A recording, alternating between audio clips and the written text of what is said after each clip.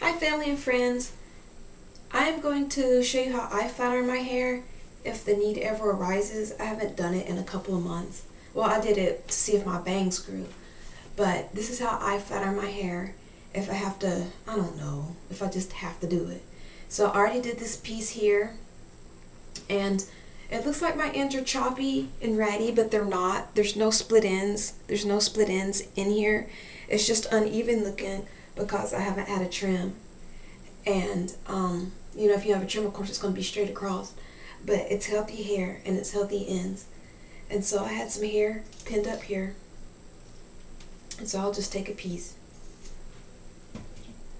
And I will comb it out first. I'll comb it out first with this big piece end. Then I'll comb it with this middle, the middle teeth. Then I'll go with the smaller, the smaller tooth comb. I will take my flat iron and I will bump the the scalp really close.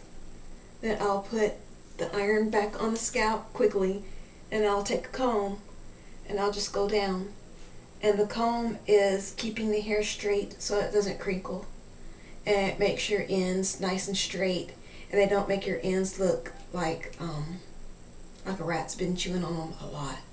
And so that's that piece straightened here. My curling iron is set to 15.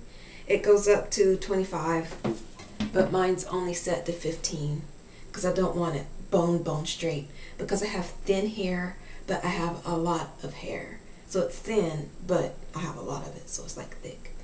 And so this is how I flat on my hair. Hair. Check your comb. Look at the teeth in between your comb. If you see edges sticking up in between there, um, you need to get rid of that comb. There should not be a seal in there. It should be nice and smooth. So if you see a seal in there with plastic like sticking up in between the teeth, every time you go to comb your hair, that plastic is acting like a little razor blade and it's damaging your hair as you're combing your hair. And so I'm getting ready to wash my hair. So um, I don't mind doing like a quick, I don't know, flat iron tutorial for a couple of seconds. And so I'll comb it with the big piece, then I'll comb it with the little, well the medium, medium sized. And then I'll go to the smaller one.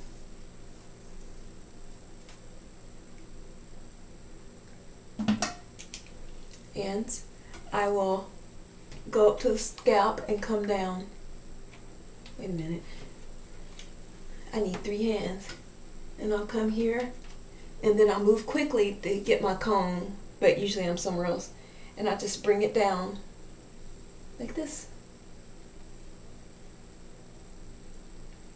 And only go over it one time.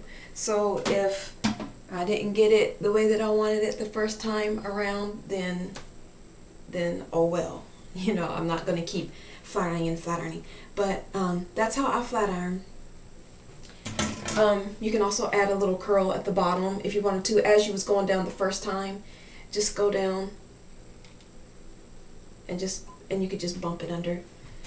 But I'm getting ready to jump in the shower, so this will revert back. So it's it's no big deal. But that's just another way to flat iron. If you've never seen it done that way, then you can flat iron it that way. And that's all that I had to share tonight. So thanks for watching. Bye.